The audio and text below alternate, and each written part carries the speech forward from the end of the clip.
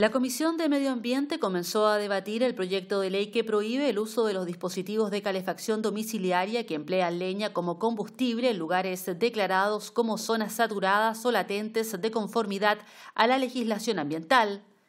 El texto prohíbe en zonas declaradas como saturadas o latentes, de conformidad a la Ley sobre Bases Generales del Medio Ambiente, la utilización de leña para efectos de calefacción de viviendas. Por consiguiente, queda prohibido el uso de calderas de calefacción de uso domiciliario y calefactores que utilicen o puedan utilizar leña. La moción agrega que quedarán exceptuados de esta prohibición aquellos bienes raíces no agrícolas destinados a la habitación cuyo avalúo fiscal no supere el monto de exención habitacional.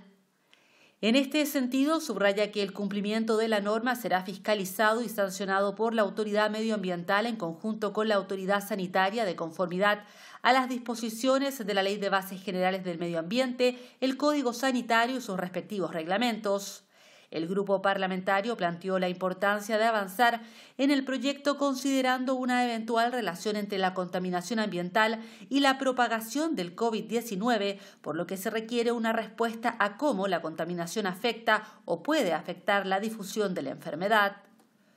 Por su parte, el profesor de la Universidad de Santiago, Luis Díaz, indicó, entre otros aspectos, que se trata de un proyecto positivo, sin perjuicio de creer que debiese otorgarse un subsidio para familias vulnerables que ocupan la leña como calefacción para adquirir sistemas eléctricos en su reemplazo, sobre todo mientras dure el COVID-19 con una tarifa eléctrica cero.